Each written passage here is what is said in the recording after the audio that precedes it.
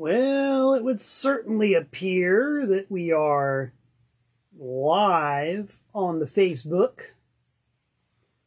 And that if we are indeed live on the Facebook right now, then someday we're going to be archived on YouTube. And also archived forever on Facebook. You see the address right there, so you can guess what's happening right now. Malcolm Tent, P.O. Box 3626, Newtown, Connecticut 06470. That can mean only one thing, and that is that it is I, it is me, Malcolm Tent, bringing you this week's episode of Tent Talks Tunes. Waka, waka, waka. Disco hands, baby. Disco. Disco will never die. Not as long as I've got anything to say about it. Mm-mm-mm. Yes, siree. It's been a been a long, strange, and rocking couple of weeks here in the world of old MT. Hello, everybody.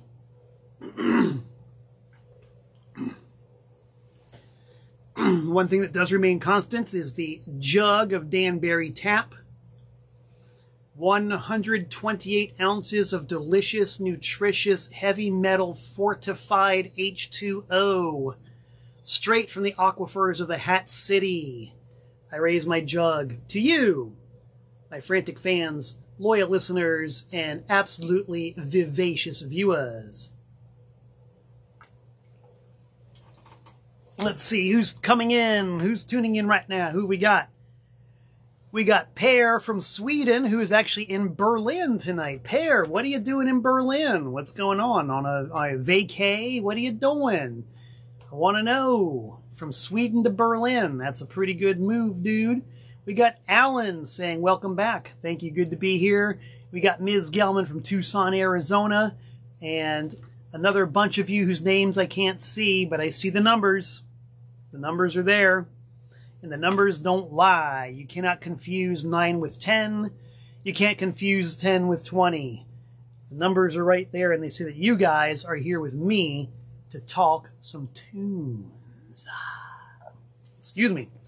So, yep, I was not on the air last week or the week before. I was taking care of some business with the almighty Antiseen.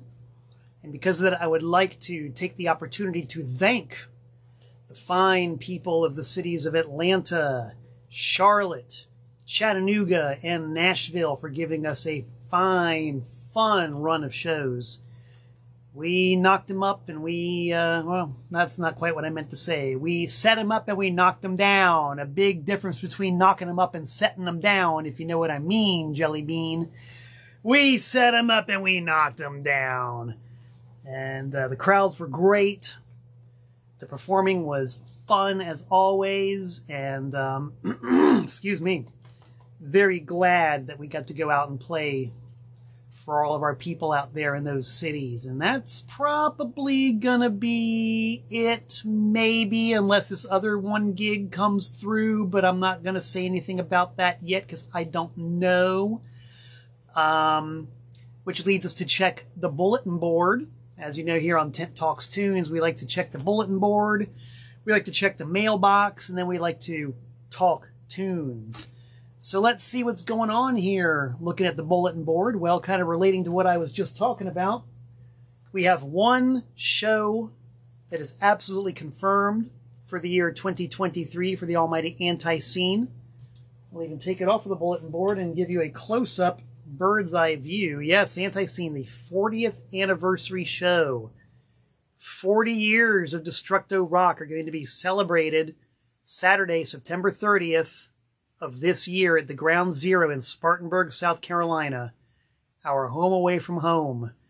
It will feature not only this, the Ultra lineup, but it will feature a plethora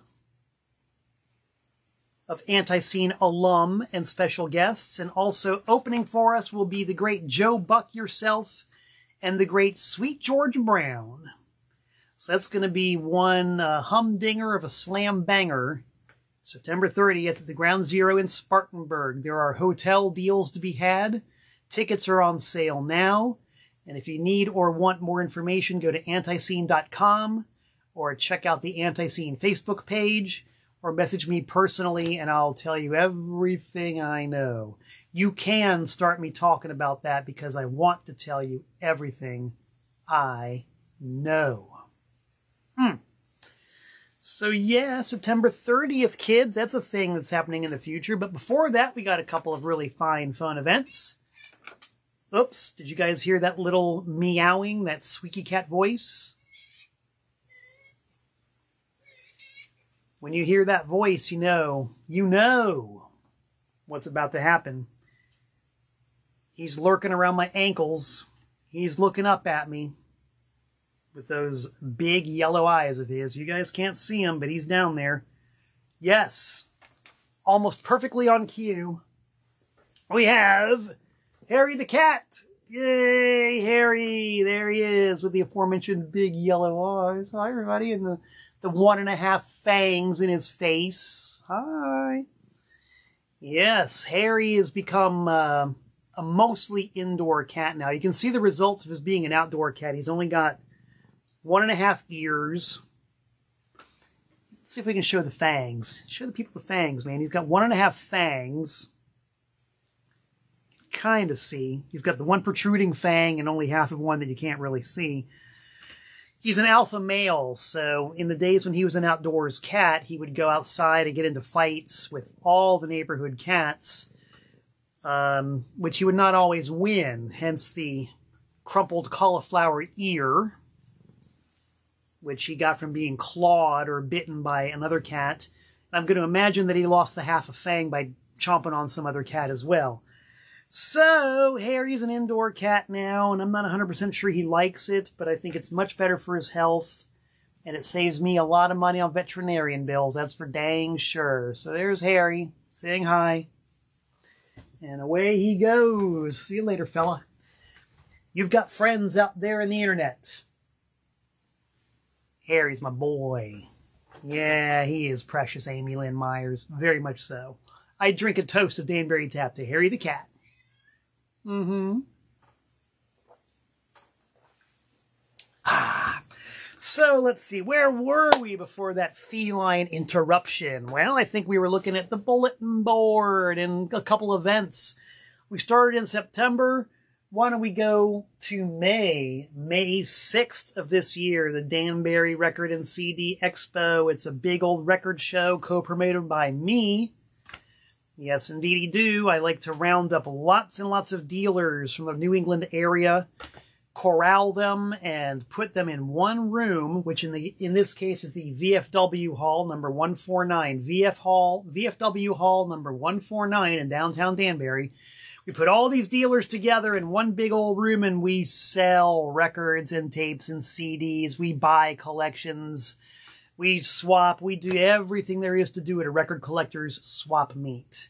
It is a lot of fun. I am going to be set up with two, maybe even three tables full of prime vinyl, cassettes, CDs, and of course, TPOS label product We'll all be well represented on May 6th at the Danbury Record and CD Expo. If you go to my website, which is trashamericanstyle.us, or you just go to my Facebook page, you will see a flyer that tells you all the details about the Danbury Record and CD Expo on May 6th. So, going back from September to May, how about April? How about April 29th when I, Malcolm Tent, am playing a somewhat rare solo acoustic date? Yes, indeedy do. Y'all know that I am the bass player for Antiseen, but you can you can see me strut my stuff with the guitar opening up for the Pentagram String Band. They are a satanic bluegrass band on tour and I've been chosen for the somewhat unenviable task of opening up for them at Cafe 9 in New Haven. It's happening, kids. April 29th. You better believe I'll be bringing my A game to that one. Lots of uh, songs, stories, pithy observations, and heavy strumming. on my probably sparkly blue electric guitar, but if not that, I'll be bringing out my, uh, boy, I missaid that, my sparkly blue acoustic guitar, which I'm known for. But since I'm still in a kind of post-surgical condition where it's very difficult to play acoustic guitar, I might be using my electric guitar. I wonder if you guys can see. Can you guys see the scar on the back of my hand? Is the scar visible? The surgical scar? You can kind of see it if you look closely enough. I don't know if a different light helps it, but yeah, they sliced me open and they fixed some broken bones I'd had in my wrist for the better part of 30 years. So I'm happy to say that I'm no longer in constant pain, but we're about nine months away, nine months out of my surgery, and it's still, I haven't regained all of my function in my fret hand. So, doesn't matter. I'm not going to be stopped. I'm going to play regardless. I'm going to play regardless. April 29th, Cafe 9, New Haven, me, and the Pentagram String Band. I believe that's all we got on the bulletin board, with the exception of my usual invitations for you to check out my label and store on Discogs, eBay, and Bandcamp. Because I got a lot of good stuff. And you need, want, and deserve a lot of good stuff. You can't make it to the Danbury Records CD Expo on May 6th, you can always visit my internet presences on Bandcamp, Discogs, and eBay. All right, gang, that's the bulletin board. Let's take a look at the mail, shall we? Not a whole ton of mail that we're going to reveal today, but um, I think it's a couple of really good items. Let me reach over here and grab the Million Mile Scissors. Mm, yep, here they are. These scissors have cut a million miles worth of paper, cardboard, manila envelopes, packing tape, and it was all done approximately four inches at a time. So we're going to add a few inches to the Million, Myers, million Mile Scissors today. First, we're going to open up an envelope from Dennis Highland.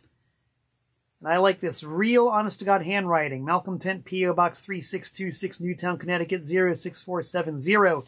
Dennis Highland is a real good dude. He is the United States emissary for Jackhammer Records. Jackhammer is the Japanese label that has released some Antiseen stuff in Japan and uh, also in the U.S. thanks to his good efforts. Dennis is also the guy who promotes our shows in Mobile, Alabama. He is a fantastic host. Always makes sure the bands are treated right. He is also in the most excellent band, Future Hate. And he just sent me something. I think I know what this is, we're going to find out for sure. This is a cold reveal. I just cut the envelope, and now I'm taking the contents out. And what's inside the envelope? Another envelope. A mystery wrapped in a riddle. Packaged in an enigma. We're going to open it up, and ah, uh, yes, this is kind of what I thought it was. It's kind of what I was hoping it was. I love, I'm sure you guys could probably guess this, I love artifacts, I love printed matter, and I love seeing Antiseen on a Japanese flyer promoting the release that we did on Jackhammer Records, the Guyana Grape Split 10-inch EP with us and Before I Hang from Hattiesburg, Mississippi. Look at that. That is authentic Japanese flyer action. And there we are, and thus there I am in full color. Thank you, Dennis, for sending me this so I can add it to my scrapbook. Lot of scraps in that there scrapbook. And there's a few more. Thank you very much. Now we've got the big reveal here. I don't know exactly what this is. This is from my pal Alan Versapellis, and I hope I pronounced your last name correctly. Alan is not only a booster of Tent Talks tunes, but he is a musician and an artist. And he sent me an elaborately packaged thing. It's got an envelope taped to a mailer. It's got some stern admonitions for the Postal Service workers. If you bend this package, Jesus won't come back fragile. Can you read it? Apparently they can read, and apparently they do want Jesus to come back because the package has arrived safe and sound.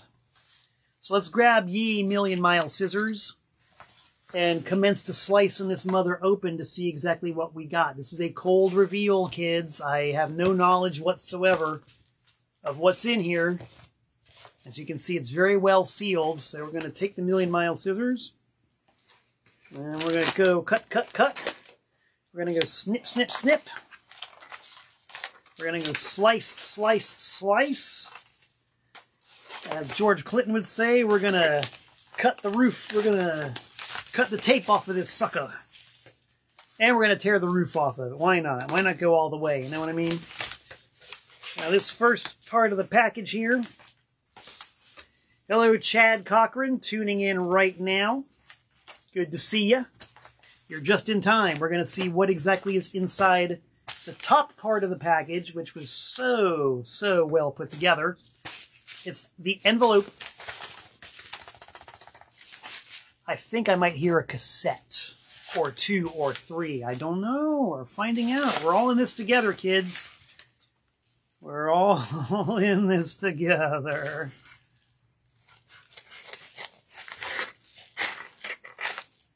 It has been opened. I'm looking in. I'm on the outside looking in. I'm reaching my hand into it. I'm pulling out the contents. And we just dropped some stickers. The stickers are for Jello Swayze. I'm assuming that's Alan's band. And a handwritten note saying thank you for the music and TTT. Thank you, Alan. And what did we get? What do we have here? We have, well, what do you know? We have two different Jello Swayze CDs, which I will definitely come in handy on my next long-ass drive to Charlotte, North Carolina. 13 and a half hours one way, and I got a CD player in my car, so these things really, really are very useful. And an Alan Versapellis solo disc entitled Covered in Blood. I have covered up all the naughty bits so as not to get banned from all platforms. Thank you, Alan. I look forward to checking these out. That's only part one. Here's part two. What's in the mailer? What could possibly be in this mailer which was not bent by the U.S. Postal Service? What could it possibly be? Let's minimize this message that just came through here. All right, we're going to get out the scissors and we're going to cut some tape. You've heard the expression about cutting through the red tape. I'm going to cut through the clear tape right now. By hook or by crook, one way or another, this package is going to be opened. What on earth can this portend?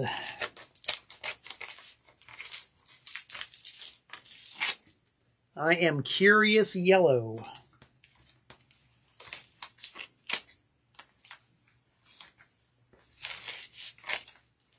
All right. The guy who graduated top 10% of his class was able to successfully open up the package. And Alan, who happens to be tuned in right now, says that, oh, that his uh, Covered in Blood CD does indeed where is it? I don't see it. Hey, there it is. Alan covered My God Can Beat Up Your God. A song written by me and performed by my band Broken Talent on our first record in 1984, which was then covered by Antiseen in 1992 and is still sporadically a part of our set to this very day. Well, Alan, my ego has been stroked, stoked, and uh, definitely not choked by your inclusion of my humble composition on your album. Thanks, dude. That gives me double incentive to pop it into the old CD player when I'm on that 13 and a half hour drive to Charlotte, North Carolina. You give me something to listen to and while away the hours. Mazel tov, dude. But what am I going to listen to when I'm at home? I don't have a I don't have a record player in the car. This is going to be some home listening here. Ah, now Alan knows me very well. Alan knows my absolute mania for DEVO from OHIO. And look at that. Alan has just out of the blue, unsolicited, sent me the white label promo 12 inch single for Devo theme for Dr. Detroit. Very cool, very cool. I seem to recall this has two different mixes of the title track. Yep, you got a lengthy extension, a lengthy extended version, and you've got uh, oh no extended version. Yes, lengthy extended version and the regular version and a non-album B-side called Love Love, and a special hype sticker that appeared only, I believe, on the promo copies. Those might, that might have appeared on the stock copies, but I have not seen a sealed stock copy ever. I don't think so. I don't know. Maybe some of you guys who are even more obsessive about Devo can tell me, but I'm pretty sure that is a promo only hype sticker. Alan, thank you very much. I'm going to sit down and examine this with the microscope because that's what I do with Devo records because it's so much fun. Look at that. It's in beautiful mint condition, too. Mm-mm-mm. If this were the age of payola, I'd say that you succeeded fantastically. Alan, thank you again for the great mail call today, which I'm able to share with all of my people out there on Tent Talks Tunes. Waka! A toast of Danbury Tap.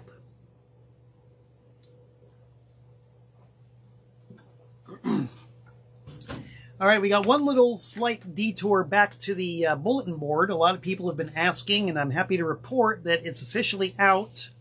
Has actually been out for a little while now. The Bloody Apostles 7-inch EP is out. It is officially 100% out. Look at that. I've got it in my hand right now. That's the front. That's the back.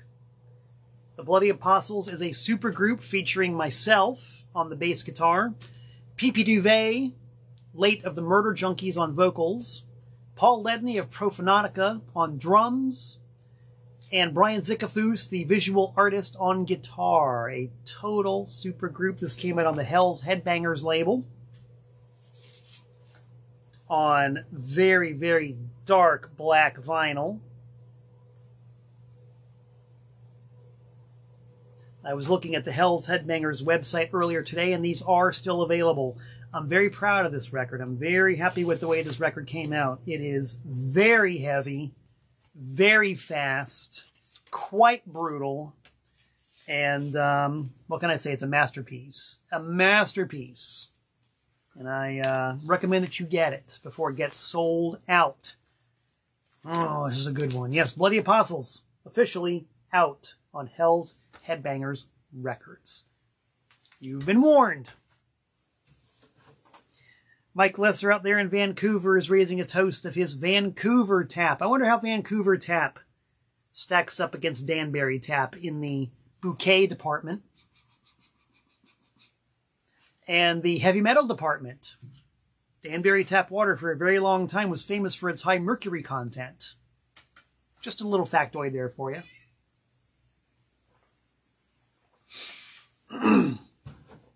All right, so we're going to get into what is right now the meat of the matter on Tent Talks Tunes. We're going to revisit not one, but two obsessions of mine. Yes, you get a bonus obsession today. I was, I posted about um, this guy right here. You saw maybe the picture of Jobriath.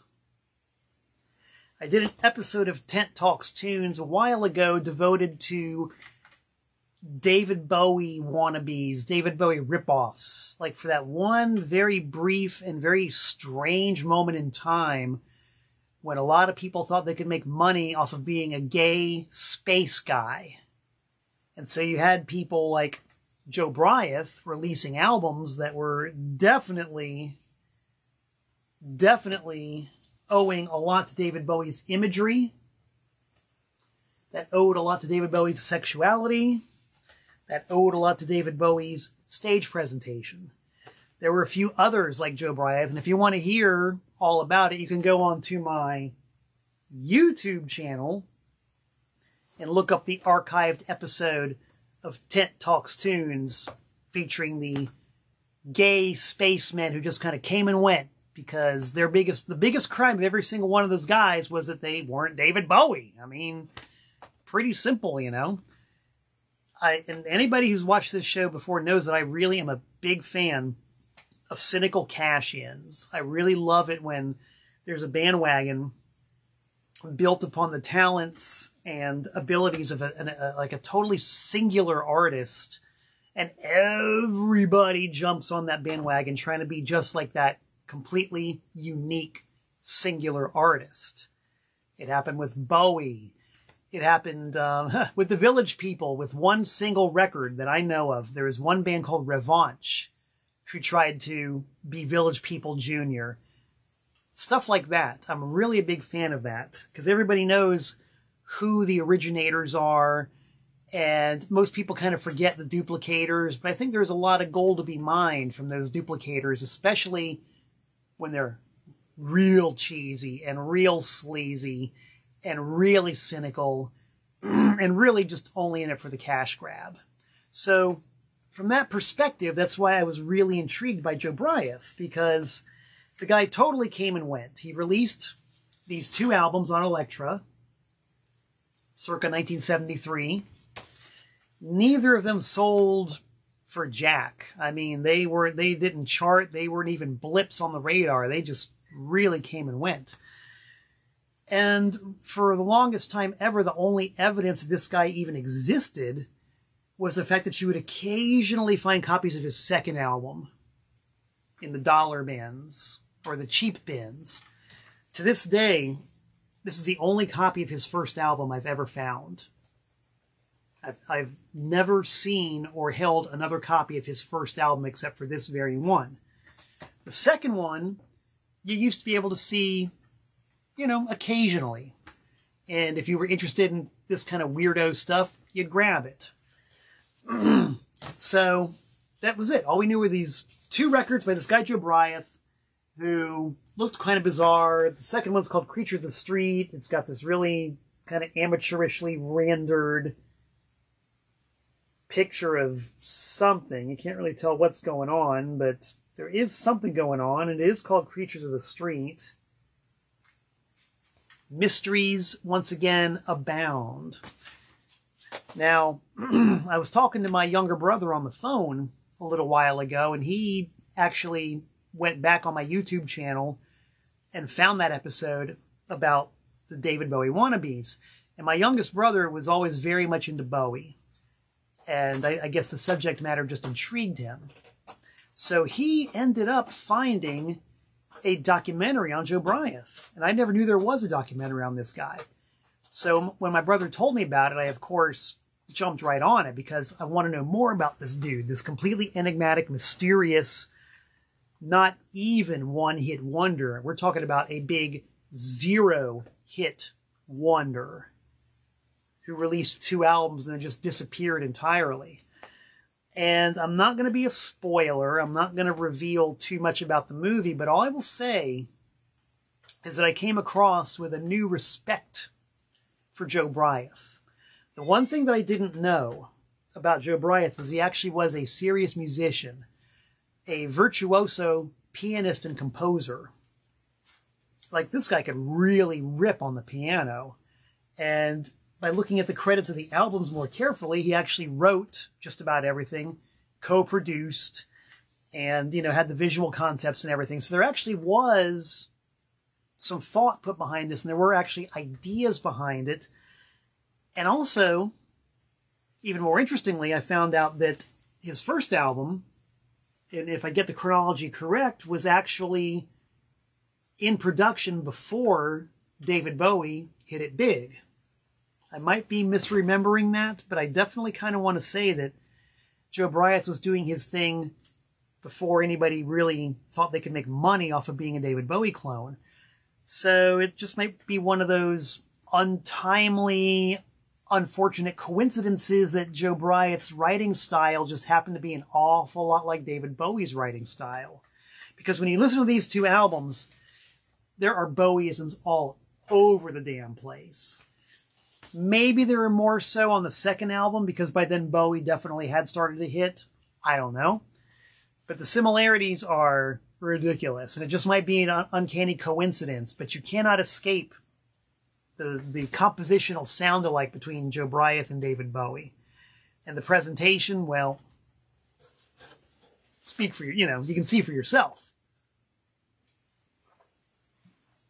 So I went back and re-listened to both of the re-listened to both of these albums, and I always there were always tracks on both of these records that I liked and I thought were pretty good.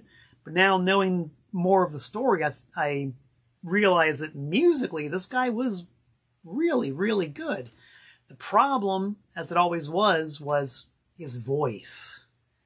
He's one of those dudes who always had to try to sing in the higher registers. He was always trying to hit the highest note possible. He was like an like an 80s hair metal singer who didn't have any sense of restraint and just always went for the absolute top of their range. You know, to the exclusion of all subtlety and any respect for melody. It's just like horrific after a short little while. And he doesn't have that mm, how do you describe 80s hair metal vocals? Um, how do you describe them? How would you people out there? I'm at a loss for words right now. I want to see what you, the viewers, how would you describe your average 80s hair metal, high pitched vocalist? Let's see some adjectives. Let's see some commentary. It doesn't even have to be snide. I'm just looking at good words to describe an 80s hair metal vocalist who does not know how to sing anything other than the highest, screechiest notes possible. Let's see. Ray from Tucson says hysterical at best. John Farrell, who is still in Boise, I believe, says screaming. Robin ah, Robin Renee says forceful falsetto. I like that. Neil Agneta says shrill. I think forceful falsetto. Uh, Josh Styles says sensual. but Josh Styles of Daddy Longlegs is a bit of a contrarian in these musical matters. But we're going to let Josh Styles slide because I tried to raise him up right, and I think I did. What do we got here? Everything from sensual to forceful falsetto. I'm going to stick with forceful falsetto. The problem with Jobriath is that when he goes to hit those high notes, he just kind of like screeches and grates and kind of, it's not really a growl, it's more like an eh, eh, eh. And he's never able to get away from that eh. And that is what kills the listening experience. As much as I really, really, really want to like these albums in their entirety for what they are, his voice is just like and he just never backs off from that. So after about one side of an album of that, it's like, okay, no more. We're not going to bother flipping this one over. We're just going to put it away. And I think that was Jobriath's real Achilles heel and I'm once again trying not to be the spoiler about the movie. You really should check out the documentary. It's called Jobriath A.D., as in the letter A and the letter D. It's an excellent documentary. It's really, really good. The, the postscript is that after Jobriath was Jobriath, he had a career as a cabaret lounge pianist, doing old standards by Cole Porter, Irving Berlin, George Gershwin, Marlene Dietrich, people like that. And I swear to God, he was fantastic. Like, hands down, awesome. With like real charisma, with a real look of his own. And guess what? He sings in his more natural lower register. And he can really sing. So I think he missed his calling, you know. He really missed his true calling by not being a cabaret singer for his entire life. But then again, if he had never done that, if he had taken that path, we would never actually have these wonderful, weird artifacts from that brief moment when anybody thought they could be David Bowie. So Mazel Tov, Jobriath, wherever you are. I once again hoist my jug of Danbury Tap to you and your music. Not so much your voice, but you and your music.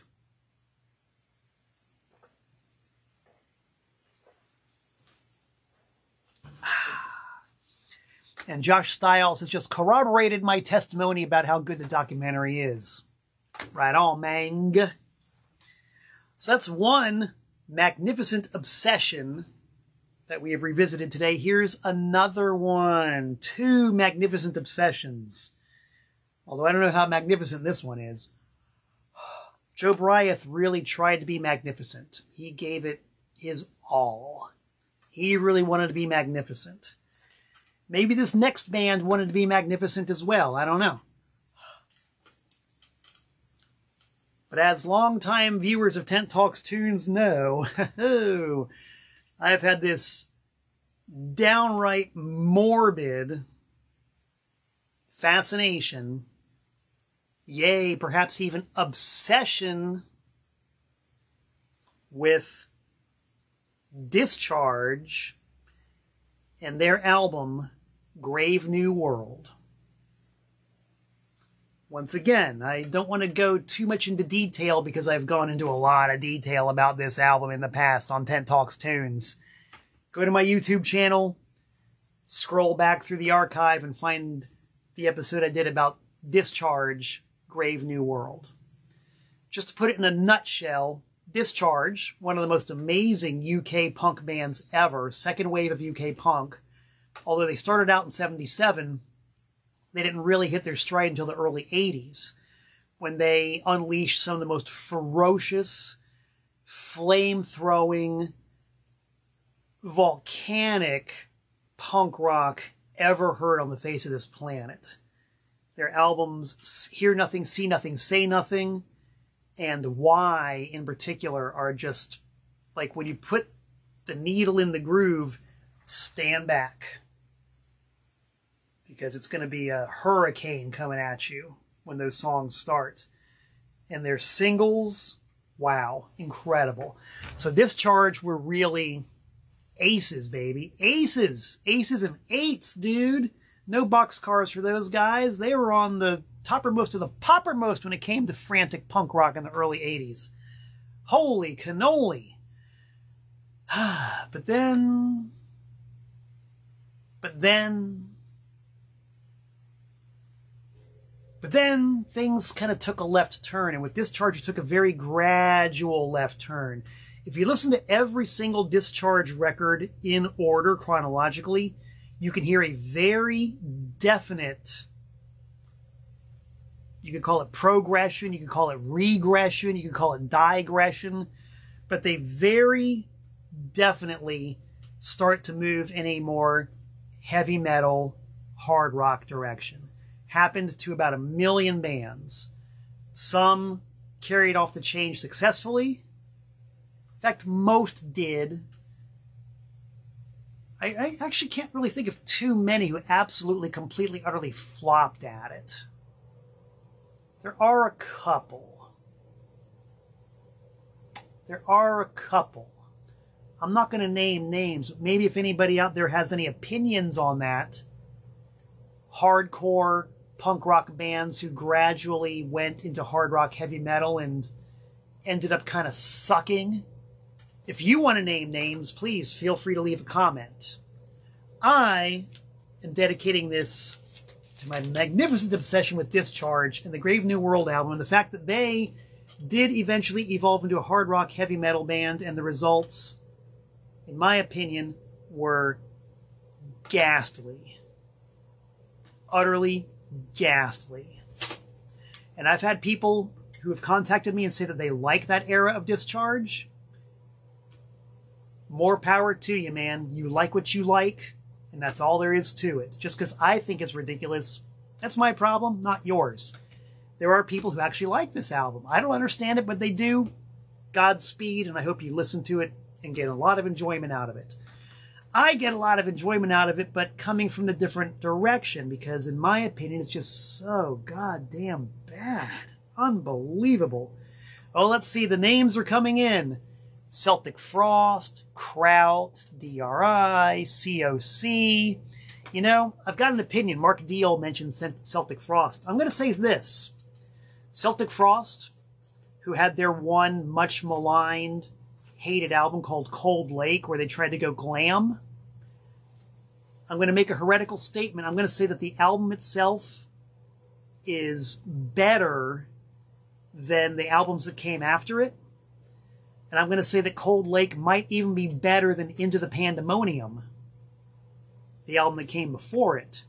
I think that what Cold Lake desperately needs is a remix slash remaster.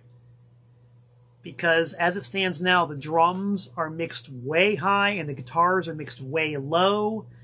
It sounds like caca doo doo. If they would just bring the guitars up and the drums down, you'd have an album you could actually listen to. And the songs on that album are not bad at all. And its its sin was that it was too weird for the hair metal crowd and too hair metal for the death metal crowd. So nobody wanted it. They didn't make any new friends. They just alienated everybody. And every now and again, I'll try to drag out my copy of Cold Lake and give it a listen.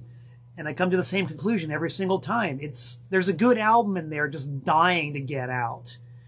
And it's just kind of tragic that considering all the reissues and remixes and remasters and deluxe repackages that Celtic Frost has done, as far as I know, Cold Lake is not one of them. And that's the album that would benefit the most from that treatment. So, Tom Warrior, if you're out there, do us a favor. You can redeem Cold Lake if you want to. Remix the sucker. And then master it properly and put it out in a deluxe edition so we can actually hear what the songs are supposed to sound like.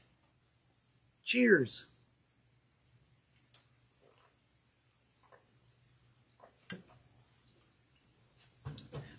Uh, Josh Styles mentions SSD. Yeah, I could have mentioned them, definitely. Mm-hmm.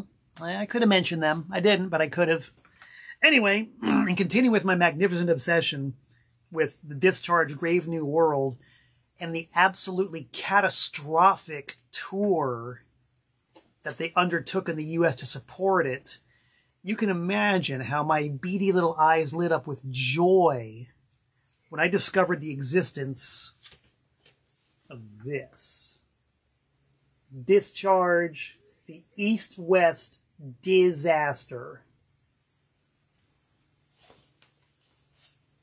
Featuring not one but two complete concerts from that disastrous Grave New World US tour. You might ask, how can one LP, and it is a single LP, one album, on a delightful opaque red vinyl featuring the kind of weird uh, parakeet logo that Discharge was using for Grave New World. One album. How can one single disc contain two complete concerts? Well, the answer is simple. Each one was terminated abruptly by hostile audience reaction. Yes, indeedy do. Side 1 contains their first performance of the tour from the Ritz in New York City, which ended when HR, the lead singer of the Bad Brains, dumped a garbage can full of either garbage or ice. We don't know exactly what. But HR dumped a whole garbage can full of something on the stage, bringing an end to the concert. Side 2 features the complete performance from San Francisco about a month later, in which the in which the audience very nearly kills Discharge. you can actually hear the sound of something hitting the stage, boom, and then the guitar cutting out and the band exiting the stage. It's it's really something. I felt real bad for those guys after hearing that. It's brutal.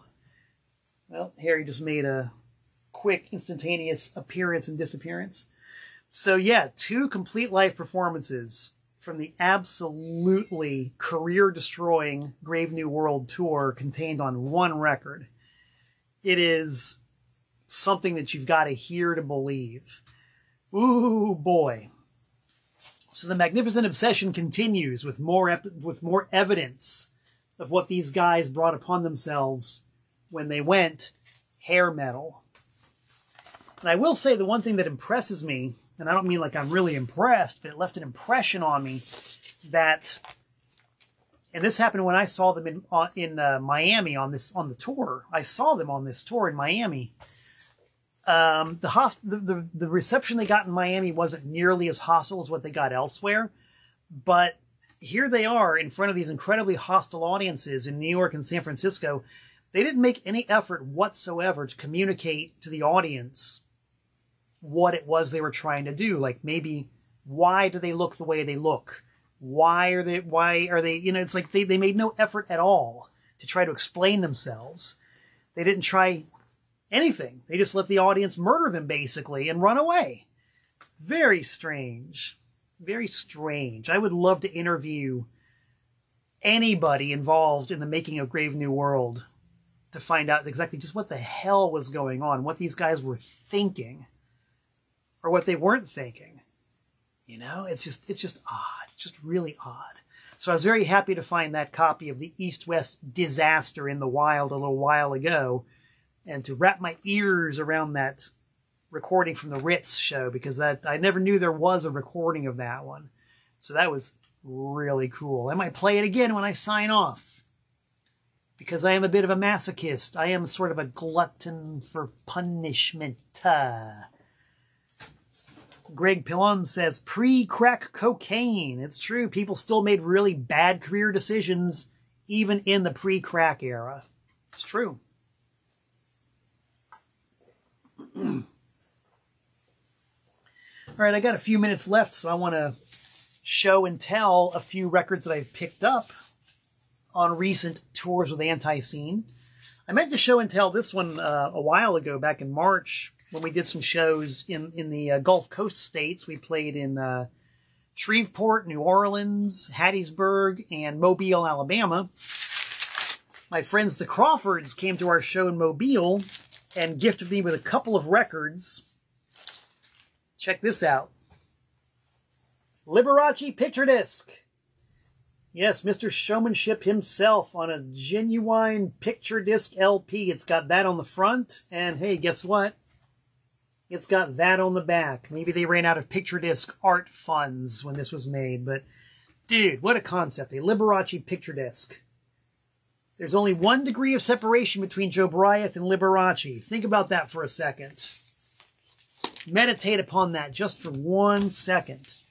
And the Crawfords also gifted me with one of the great, great, terrible records of all time one of the worst of the worst, and therefore one of my very favorites, the eponymous album by Telly, Savalas. Yes. He apparently has a parasitic twin growing out of his back. I can't tell what's going on there, but people of my generation who watched Kojak know all about Telly. Maybe some of you youngsters do as well. He did a great job of playing a detective on TV. He does a lousy job of trying to sing songs in a studio. I mean, like, terrible dudes. Like, oh my god, please send this guy home. But he ended up, he's made like probably six or seven albums. And apparently was a big star in Europe and had hit singles. I can't even guess how these things happen. Fine actor. Not a singer. If you guys like bad music, the way I like bad music, Telly Savalas is highly recommended. Highly recommended. Other magnificent obsessions of mine that I just happened to find tangible evidence of while I was in the field. Did some record shopping in Nashville and came up with this little gem on the Boblo label. Don't know if you guys can see that it's a record by Jimmy Ellis. There you go on the A side. And here comes that wonderful feeling again on the B side. Now you might say, Jimmy Ellis, Jimmy Ellis. What's so special about Jimmy Ellis? Well, once again, if you trawl my past episodes of Tent Talks Tunes on YouTube, you will find lots of mention about a guy named Orion. And what was Orion's deal? Well, all I'm going to say because I don't like to ruin any surprises. All I'm going to say is that shortly after Elvis Presley died, a mysterious masked singer appeared on the scene. Boy, he kind of looked like Elvis, and he sure did kind of sound like Elvis, but you couldn't tell because he wore a mask around his eyes. And his name was Orion. And he released a bunch of records on the Sun label. Same label that Elvis was on. Oh my God. Could it be? Could it be? Well, it could have been, except some people who don't believe in magic, some people who don't believe in fairy tales, started spreading the word that Orion was really a guy named Jimmy Ellis, who had a bunch of singles on labels like Boblo. That weren't really hits. In fact, they weren't hits at all, but um, there were plenty of them. Jenny DeSoto, who just tuned in. Jenny, you know all about Jimmy Ellis and Orion, I'll betcha. Are they the same guy? Could it possibly be so? I hope not. But anyway, just because I'm morbidly obsessed with Orion, and just thinking that maybe, maybe the naysayers are right, and maybe the man behind the mysterious sequin mask really is Jimmy Ellis, I picked up this Jimmy Ellis 45 when I was in Nashville and it is a gem in my collection. Because Jimmy Ellis records have been comped and booted before. This is my first genuine Jimmy Ellis side on the Boblo label. And I'm sure it's just coincidence too. Mere coincidence, but in the same box of records in Nashville, you got it. A 45 by the mysterious masked man himself, Orion, on the Sun Records label, yellow vinyl, promo, baby. Yellow vinyl, promotional only, not for sale. I don't care if it was not for sale. I paid a dollar for it and I'm happy I did. Jimmy Ellis, Orion. I mean, what happens if you put them next to each other? They don't cancel each other out. No weird vibrations between the two. I don't know. We know for a fact that Jimmy Ellis and Orion records have been seen in the same place at the same time. It's happening right here, right now. They themselves were never seen in the same place at the same time, but their records have been. It's official. 100% official. Both from the same box of Junk 45s in Nashville, Tennessee. And I also got this really good one. Also paid one whole dollar for this. Considering that the original retail was $2, I got a bargain. A message to Elvis's fans and to my friends and whoever you are by Elvis's uncle, Vester, on the very imaginatively named Vesprez label. The one time that I visited Graceland, which was the home of Elvis Presley, Old Uncle Vester himself was there behind a desk. He had a great big old stack of books he had written and a great big stack of these 45s. And he was sitting there looking all pissed off like he'd rather be anywhere else than behind that table with all those unsold records and all those unsold books. And he looked so grim and so dour and so angry that I was not going to go near the guy. Not even to pay $2 for his record. Wasn't going to do it. Guy scared me away. But it worked out for the better. All I had to do then was wait 30 years to pay $1 for it. When you take inflation into account, it means I got it for free practically. So you see, guys, patience pays off. If you pay, if you wait 30 years, quite often you can get the $2 record for $1. Sage advice. And I listened to it, and it's pretty bad.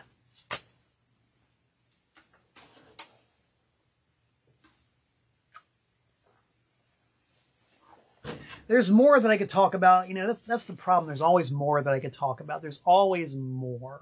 There are so many records, and so many of them are so cool, and I pick up so many of them when I'm on the road. But my time's just about out. I like to go for about an hour every week. I don't want to try anybody's patience. Don't want to try my larynx. It's a very sensitive larynx. You'd never guess when you see me play live. But I, I talk too much, my larynx is kind of sore, so I got to bag out. So we'll just do one quick summation of what's going on. Antiseen 40th Anniversary Show, Spartanburg, South Carolina, September 30th. I'll be there. You should be there. The Pentagram String Band, Cafe 9, New Haven, April 29th. I'm opening. You should be in the audience. Danbury Record and CD Expo, May 6th. VFW Hall number 149 in Danbury. I'm going to be selling tons of damn good records, tapes, and CDs. You should be there shopping. And of course, my label, my web store, TPOS, on Discogs, eBay, and Bandcamp. And before I sign off, Jenny DeSoto wants to know if I've ever found a Johnny Powers record. I have not. I've never come across a Johnny Powers record. And I wish that situation could be rectified. But who knows? Maybe at the Danbury Record and CD Expo on May 6th, I'll find one or two or three or four. Who knows?